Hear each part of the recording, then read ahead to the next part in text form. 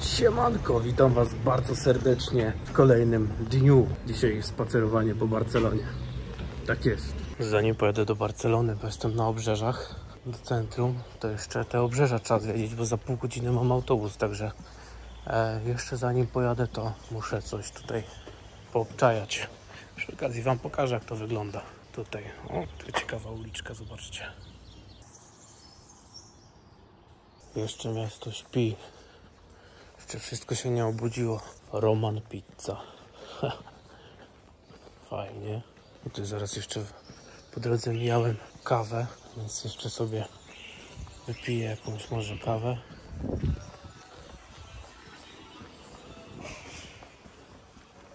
Jakiegoś krosancika. O, zobaczymy.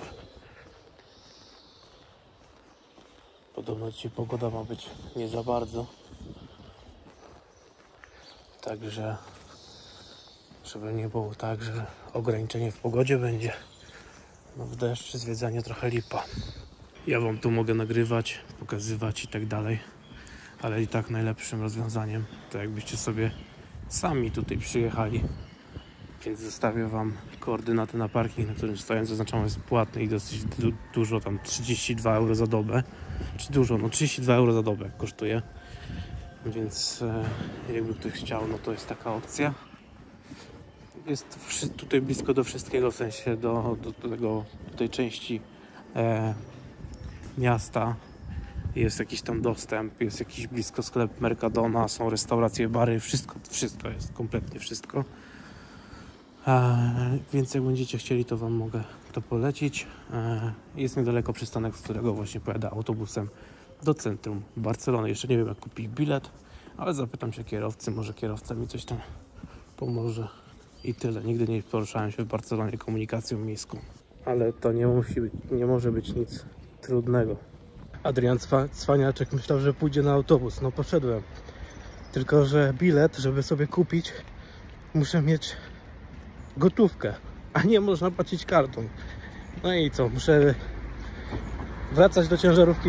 Na szczęście nie jest daleko po, po gotówkę, no. Dzisiaj jest taki dzień, że dopiero jutro załaduję najprawdopodobniej mm, towar. Może dzisiaj wieczorem, no, ale w każdym razie muszę zrobić pauzę 24 godziny, bo planowany dojazd do Polski jest na niedzielę ze świeżym produktem, żeby można było wszystkie zakazy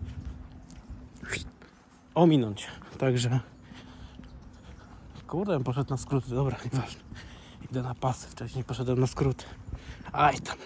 Dobra, próba numer dwa. Ciężarówka zostaje tutaj, a my wychodzimy, a my wychodzimy z parkingu i lecimy do Barcelony. Do centrum Barcelony. Tędy furteczka. Cyk, cyk, cyk. W furtce jest zabezpieczenie, żeby można było zawsze wejść, wyjść.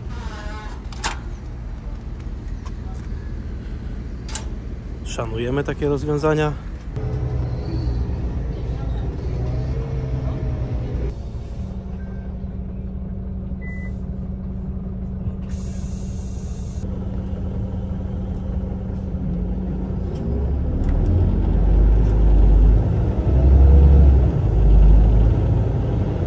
I dobra, za całe 3,65 dostałem się do Barcelony, do centrum.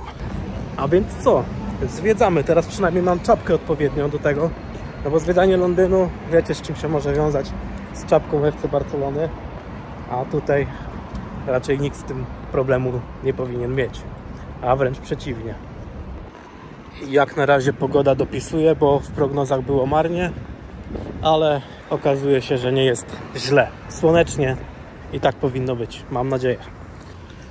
Jeśli chodzi o to, gdzie się wybieram, to pierwszy punkt Bazylika. Dwa kilometry mam do tej bazyliki na pieszo. Także na razie tam idę. A co później to zobaczymy. Chyba nie będę szedł na Camp Nou, bo już byłem. Za tym jest w remoncie teraz. Więc nie ma co tam zwiedzać.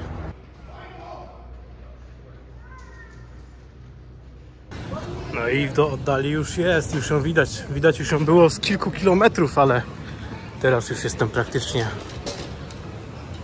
na miejscu. kilka metrów zostało. Wow.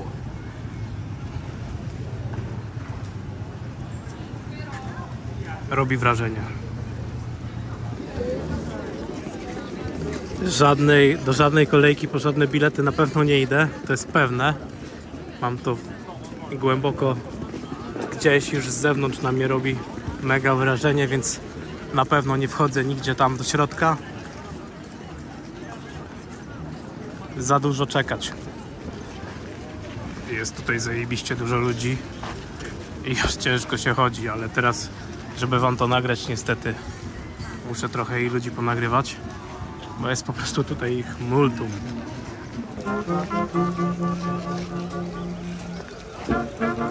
Ale tu jest bajzel, naprawdę bardzo dużo ludzi i trzeba trzymać się za portfele, bo no, Barcelona słynie raczej z takich właśnie sytuacji, gdzie można stracić ten portfel. I perspektywa z tej strony turystów, takich jak ja, znaczy wiadomo, nie kierowców ciężarówek, ale po prostu turystów jest tutaj masa. Ale to chyba nikogo nie powinno dziwić, mnie również nie powinno dziwić, bo jest to atrakcja, którą tutaj ludzie pierwszorzędnie odwiedzają, później jadą na stadion. Także najpierw tu, a później na stadion, więc taka sytuacja. Dobra, przyszedłem od drugiej strony, z drugiej strony tak to się prezentuje. Widać, że tam też są jakieś remonty prowadzone, ale ilość szczegółów tutaj to jest po prostu przerażająca. Jakiś czas temu myślałem, żeby w Paryżu sobie takim autobusem się przejechać dookoła, no bo już ten Paryż też parę razy zwiedzałem. Także może i dobra opcja by była na Paryż właśnie teraz zrobić to takim autobusem, bo też ich tam dużo jeździ.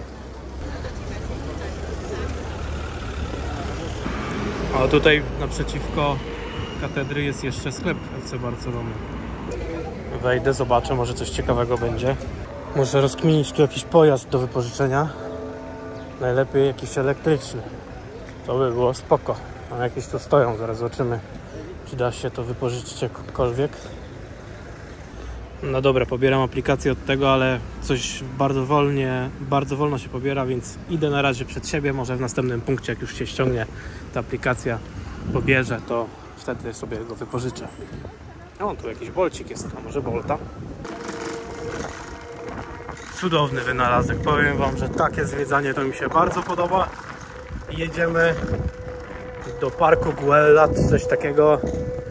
Polecajka od kogoś po prostu żeby tam pójść, a my tam po prostu pojedziemy. No, elektryczny rower, coś pięknego. Trochę ruchu, no i szybkie przemieszczanie. To jest to. Dobra, rower zostawiony. E, w Hiszpanii jest tak, jak będziecie sobie wypożyczać te rowery, że musicie je zostawiać w strefach parkowania. Zresztą we Francji też tak jest. Ostatnio jak jeździłem tam po Szerburgu tak było. Zostawiacie hulajnogi czy rowery tylko w strefach, gdzie można. Jak już tam podjeżdżałem pod samą górę, to um, było, była informacja, że nie można, no i trzeba było poszukać na mapie parkingu, także zaparkowane. Jestem tutaj, gdzie chciałem być, w tym parku, no ale niestety najbliższy bilet w piątek, dzisiaj jest środa. No tyle to Spedytor mnie nie przeciągnie. Także jeśli będziecie chcieli sobie ten park pozwiedzać, to upewnijcie się, że macie bilet, bo nie opłaca się tutaj wspinać naprawdę wysoko, żeby wejść i się dowiedzieć, że dopiero w piątek jest jakikolwiek bilet dostępny. Także pamiętajcie o tym. Sprzęt ponownie wypożyczony. Znowu bolcik i lecimy teraz tym razem do takiej restauracji zwanej McDonald's podładować baterię w telefonie, bo się kończy. A trzeba korzystać z nawigacji i oczywiście nagrywać dla Was te ciekawe miejsca. Tutaj jest jakiś stadion, ale nie Camp także nie nagrywam co tam jest, bo jakiś pewnie mie miejski, miejski stadionik. Muszę stać przy ścianie i ładować telefon, bo nie ma przy stolikach ładowarek, to jest bardzo dziwne dla mnie, bo w Polsce wszędzie przy każdym stoliku jest ładowarka, żeby można było się podpiąć do prądu. Tutaj jest trochę inaczej, niestety. Ogólnie to ładowanie takie trochę na nielegalu, bo tutaj nie wiem, czy w ogóle można. Bateria podładowana, wracamy do zwiedzania. Proszę bardzo, taka oto sytuacja. Szukam teraz jakiegoś baru, żeby napić się kawy. Myślę, że z tym nie będzie problemu. Tutaj jest ich po prostu mnóstwo. Mógłbym się w maku napić, dzisiaj ładowałem telefon, ale wolę coś bardziej wyszukanego. Dobra, plany się trochę pozmieniały. Nie idę na kawę, bo już pogadałem przez telefon, bo to był cel, żeby tam do kogoś zadzwonić i pogadać. Natomiast idę dalej. Tak, tak naprawdę to nie wiem, gdzie mam. Trochę już pozwiedzałem tej Barcelony ostatnio i zastanawiam się, gdzie teraz tym razem.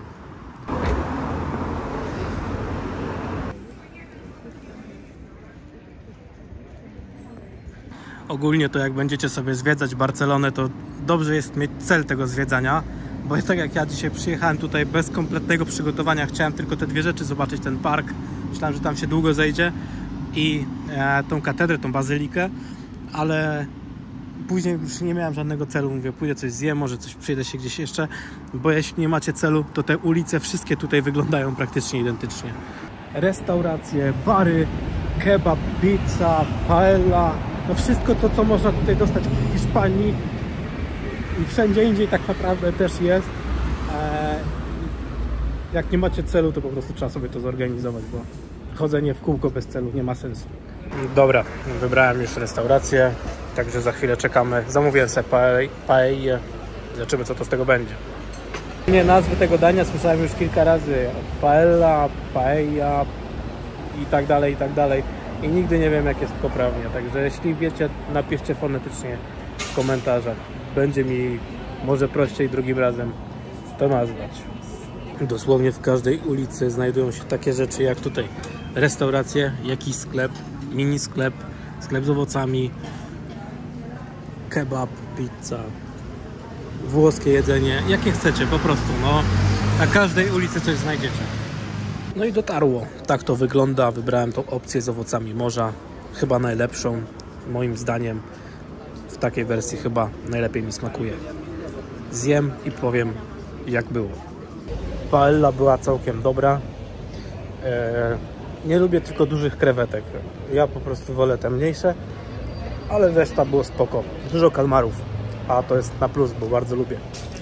To znaczy ja praktycznie wszystkie owoce morza lubię, więc to by było dziwne, gdyby mi coś nie smakowało. Naprawdę dobre. Fajny klimat ogólnie takich ogródków. Dużo ludzi podjada sobie, pora obiadowa. Tu zejście do metra. Tu sklep z czekoladą. Wow. Wróciłem w to miejsce, żeby je bardziej sprawdzić. Tam jest ten McDonald's, w którym ładowałem telefon. No i przyszedłem pooglądać, zobaczyć co tutaj jest ciekawego. A przede wszystkim popodziwiać. Ogólnie nie mam zamiaru tego zwiedzać w środku i płacić za bilety, bo mnie już cieszy to, e, że wiecie, sobie spojrzę na to wszystko z zewnątrz. Tu jest ciekawe miejsce, ciekawe co to było, czy to była jakaś budka strażnicza, czy co? Bardzo mało miejsca i bardzo ciasno to miejsce jest niedaleko tej bazyliki, którą tam widać. Idziecie sobie pójść jedną z tych dróżek e, i dojdziecie w to miejsce. A tu macie dokładnie jak to się nazywa. Dokładnie to miejsce nazywa się tak. Muszę Wam też powiedzieć przy takiej okazji, gdzie jestem przy takim budynku, e, gdzie zazwyczaj jak jestem na jakimś zwiedzaniu, na chodzeniu, gdziekolwiek, to jestem bardzo aktywny na Instagramie i bardzo chętnie Zapraszam Was wszystkich na tego Instagrama, wbijcie sobie, bo tam w relacjach naprawdę bardzo dużo się dzieje. Jak sobie zaobserwujecie mój profil, który nazwa wyświetla się teraz e, na Instagramie, to e, wyświetlą Wam się też te relacje, które dodałem tak jakby do ulubionych i możecie sobie je teraz przeglądać. E, czy to z Barcelony będzie na pewno te, te relacje, które teraz robiłem, będą na pewno zapisane. Na pewno też te, które były w Riece, z Londynu jest pierwsza chyba taka relacja. Są z Warszawy, kiedy byłem na wolnym, że tak powiem, i miałem trochę czasu, to sobie polatałem po Warszawie, więc to jest nie z Warszawy, a nigdy nie był, może sobie zobaczyć. Także zachęcam do zaobserwowania mojego profilu na Instagramie. Będziecie mieli trochę zdjęć.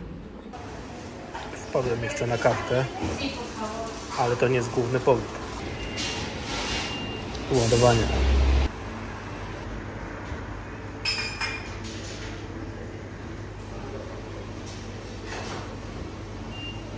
Dobra, mamy kolejny pojazd i zjeżdżamy z górki nad wybrzeże.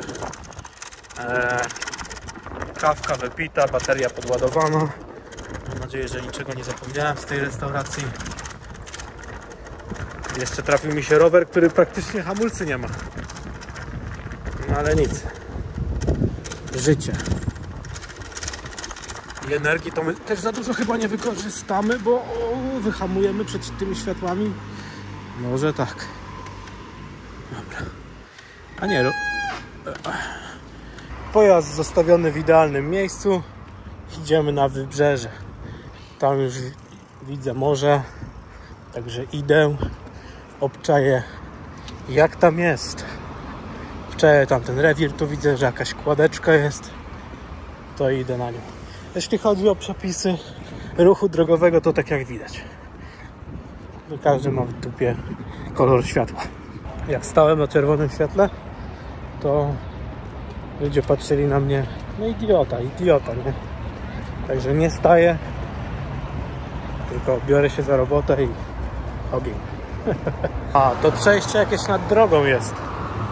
Zobaczcie. Całkiem spoko. To trochę głośno.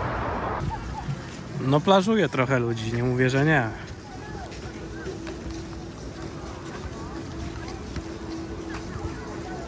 Patrzcie jaka olbrzymia marina na łódki. To, to jest jeszcze nic. Gdzieś tutaj za, za niedługo będzie taka z takimi droższymi sprzętami. Tutaj też nie są tanie, ale, ale jeszcze będą takie, które kosztują całe życie. Tutaj jest tutaj się wpływa do tej mariny. No i tu już lepsze sprzęty stoją. Tamten katamaran mi się bardzo podoba. Chociaż ta łódka po lewej też jest spoko. Popływałby. Trochę się wiatr zrywa. Miało dzisiaj padać, zobaczymy, może faktycznie będzie padało tymczasem. Widok na plaży. Jeszcze bardzo mało ludzi plażuje. Pamiętam, że jak byłem tutaj w tamtym roku w sezonie, to tutaj po prostu było multum ludzi. Teraz to jest jedna setna tego, co tutaj będzie w środku sezonu. Ogólnie pewnie zapytacie się, czy czuję się tutaj bezpiecznie, bo krążą legendy, że Barcelona nie należy do bezpiecznych miast. Na razie nie wyczułem nawet w jednym procencie tego, żeby coś mi miało być lub miałoby być dla mnie coś niebezpiecznego, naprawdę. Na razie jest wszystko ok. Aż wiadomo, nie szlajam się po jakichś nie wiadomo jakich dzikich miejscach, no bo to wtedy może być niebezpiecznie, a teraz jest git. Myślę, że bardziej jest niebezpiecznie w okolicy Barcelony na parkingach niż w takich miejscach. Tak, to ja mogę jeździć ciężarówką co wyjazd, jakieś zwiedzanie, chodzenie i przynajmniej z każdego wyjazdu jeden raz nad morzem. Cze, elegancko. Ogólnie na samej plaży w takim miejscu akurat Syfix, ale przy sezonie oni to naprawią, na pewno. Jestem tego święcie przekonany. Już z tej strony plaża ogarnięta, ale pewnie nie będziecie nic słyszeć przez ten wiatr. Tutaj już doskonale pamiętam to miejsce tych barów.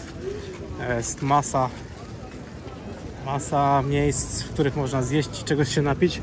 Pamiętam, że właśnie w którymś z tych barów jadłem pizzę, piłem drineczka. A tu już w tej części to jest naprawdę bardzo dużo ludzi. Aż ciężko czasami przechodzić. Nie lubię takich tłocznych miejsc. No ale plaża, Hiszpania, Barcelona. Co poradzisz? Tutaj to by się przydało tak z tydzień albo ze dwa w tej Barcelonie pobyć, pomelanżować. To by miało sens, a tak jak ja wpadam tutaj na pół dnia, no to wiecie, nie pomelanżujesz. Tak samo żadnego piwka, nie nic, no bo to trzeba będzie kawałek jeszcze pewnie jakimś rowerkiem podjechać, bo nie chce mi się brać Ubera. Za rower zapłacę ze 2 euro. Za autobus do ciężarówki zapłacę 3,60. No to nie opłaca mi się tutaj browarka pić, już sobie muszę odpuścić. Tak samo by poszedł na jakąś imprezę, coś przymelanżował, bo na pewno jest gdzie i czym. No ale wiecie, kierowca ciężarówki, nie? I tak fajnie, że jest ta możliwość pozwiedzać po prostu. Atrakcją jest ta kolejka. Może kiedyś się wybiorę na tą kolejkę, zobaczyć jak to tam jest. To się na tyle zmienia, że chyba trzeba będzie powoli stąd się zwijać, żeby nas nie zmoczyło. No, ogólnie plaże spoko, ale czy ja wiem, czy to takie tłoczne plaże to coś fajnego? No spoko, bo można sobie później wyskoczyć na Barcelonę. Jak ktoś jest tutaj na wakacje. Natomiast, no, zależy co to dla kogo, nie? Nie każdy musi e, chcieć plażować w tłumie.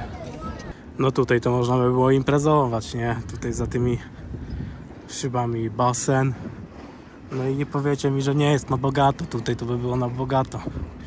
Mieć jakiś apartament z widokiem na to morze. Coś pięknego. No ale hajsu tutaj trzeba by było zostawić tyle, że niejedne wakacje w kilku miejscach by sobie pewnie ogarnął. Proszę bardzo, jaki widok. A tam już statki wpływają do portu. Pewnie przez ten wiatr będzie mnie słabo słychać, ale zobaczcie, tam wpływa prom. Ciekawe, czy tam z samymi turystami, czy są jakieś ciężarówki. Mogą być i ciężarówki. No jakoś ten towar na Majorkę trzeba dowieść. No i zobaczcie to. Tutaj już troszeczkę lepsze sprzęty stoją, co po niektóre, ale tam w oddali stoi coś porządniejszego. No tamten to już na pewno gruby hajs. Pożyłby. No za takie coś to już by pożył. Ale i tutaj jest całkiem ciekawie.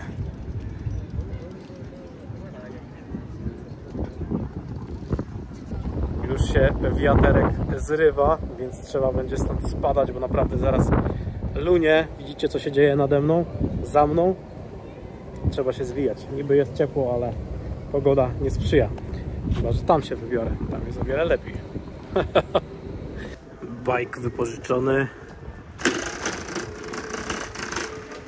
I można pośmigać takimi uliczkami. A ten co? Sklep z cannabis. Właśnie, chciałem Wam powiedzieć, że tutaj jak jesteście to jedyne co czuć to jakąś paellę.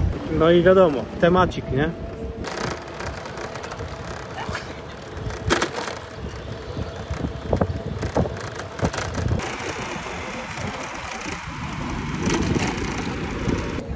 Ogólnie kończę na dzisiaj przygodę z Hiszpanią, znaczy się z Barceloną, bo pogoda nie dość, że się psuje i za chwilę zacznie padać. Nie wiem, czy to będzie widać. No teraz będzie powinno być widać, że już jest już kiepsko, mocno wieje, jest nieprzyjemnie.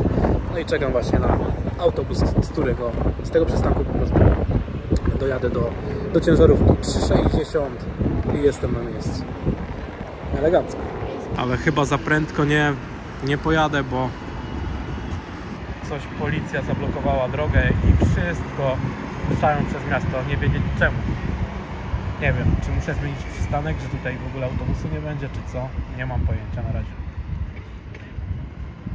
Dopóki zablokowana jest droga, to tutaj raczej nic z tego nie będzie, bo ten autobus raczej nie przejedzie również. E, ogólnie to tutaj to już jest taka główna ulica, ale taka bardziej mieszkalna, mniej turystyczna, chociaż turystów pewnie nie brakuje.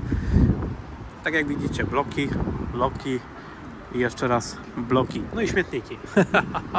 ale śmietników Wam nie będę pokazywał. Tam ciekawy jakiś budynek jest, ale już też się tam nie będę wybierał. Tak jak mówiłem, stoję tutaj i wszędzie czuć palenie. Także tutaj w Hiszpanii jest to chyba na tyle naturalne, że taki Amsterdam. Tu chyba jest legal, tylko trzeba być w jakimś chyba klubie czy w czymś, żeby można było sobie popalać. I dotarłem, dotarłem na przystanek, z którego mogę iść już do ciężarówki, także here we go. A, kawałek jest.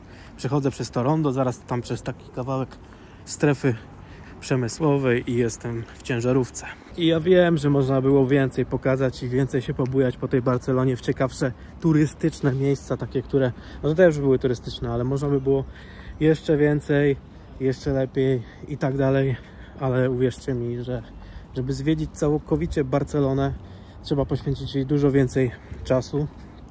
Dodam też, że ja już byłem w Barcelonie, kiedy nie ma chyba vloga z tego z tego, e, kiedy tam byłem. I ja już niektóre rzeczy widziałem, a chciałem zobaczyć nowe, więc e, tak wyszło jak wyszło. Mam nadzieję, że nie macie mi tego za złe. Niech ten vlog pokaże, że czasami jako kierowca ciężarówki można coś ciekawego zobaczyć, zwiedzić i tak dalej, i tak dalej, ale takich filmów na kanale u mnie jest dużo więcej, więc możecie sobie, że tak powiem, e, oglądać takie rzeczy. I jakby nie muszę kolejny raz mówić, że da się. Jeśli się tylko chce, to da się. Chodzę sobie, pokażę Wam, że tu taki skromny jeszcze strumyk płynie po drodze. Stamtąd. Ogólnie powiem Wam, że spoko. Barcelona jest spoko do zwiedzania. Nie czułem się w żaden sposób zagrożony przez kogokolwiek. Naprawdę wszystko było gitara.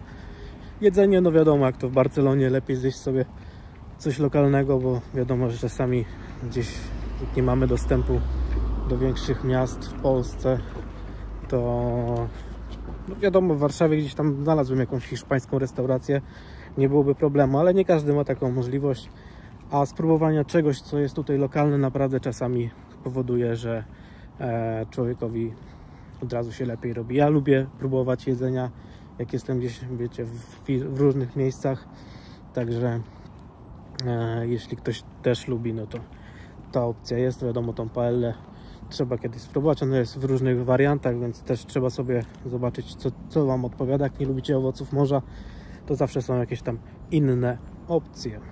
Jeśli chodzi o więcej informacji o zwiedzaniu, no co, fajnie zainstalować sobie jakąś aplikację. Ja korzystałem z Bolta. Wcześniej zainstalowałem jeszcze tą taką lokalną, gdzie są te rowery, ale tam trzeba abonament zapłacić, więc e, zainstalowałem sobie Bolta. Bolt był dla mnie najlepszą opcją. Jeśli chodzi o rower, nie ma hulajnóg w Barcelonie. One są, zostały zlikwidowane chyba 2 czy 3 lata temu, jakoś tak. Dwa lata temu, w 2002 roku zostały zlikwidowane z Barcelony hulajnogi, także zostały tylko rowery. Trzeba je parkować w wyznaczonych miejscach. Czy dużo takich miejsc jest, także nie będzie z tym problemu. Uber działa. Nie wiem jak to cenowo, znaczy cenowo to tak wiecie, europejsko, mocno europejsko ceny są takie e, europejskie, mówię tak jak we Francji i Hiszpanii też nie jest tanio, jeśli chodzi o Ubera, ale myślę, że od standardowych taksówek, bo też są, jest pewnie o wiele taniej. Ale chyba najlepszym środkiem transportu są własne nogi. W tym momencie mam prawie zrobione 30 tysięcy kroków e, w tym dniu. Jest naprawdę mega obciążenie dla nóg, ale dla głowy absolutnie żadnego obciążenia nie ma. Jestem mega szczęśliwy, że mogłem przyjechać do Barcelony i sobie ją pozwiedzać. Dajcie znać, czy Wam się podobają takie akcje. Jak będą się Wam podobać, to będę częściej wyskakiwał na miasto. Bo tak się wahałem czasami. Te zwiedzanie nie jest u mnie na kanale jakoś bardzo oglądane, więc czasami się zastanawiam, czy warto e, nagrywać. Dajcie znać w komentarzach, czy chcecie nagrywać, żebym nagrywał po prostu takie wyjścia jak Barcelona. Liczę, że w niedługim czasie uda się też e, odwiedzić Londyn, bo bardzo bym chciał pośmigać po Londynie. I dajcie znać, czy byście chcieli też vloga z Londynu. E, znaczy, ja bym chciał, żeby, żeby, żeby mi się trafił Londyn do zwiedzania, ale pewnie szybko to nie nastąpi, chociaż kto wie.